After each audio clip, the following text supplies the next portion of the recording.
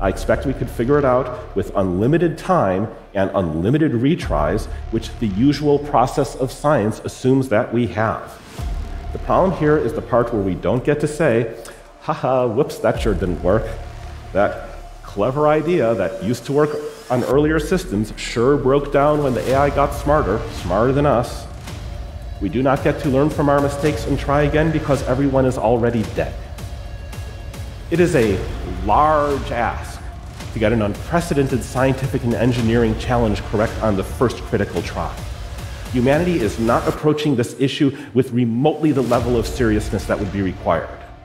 Some of the people leading these efforts have spent the last decade not denying that creating a superintelligence might kill everyone, but joking about it.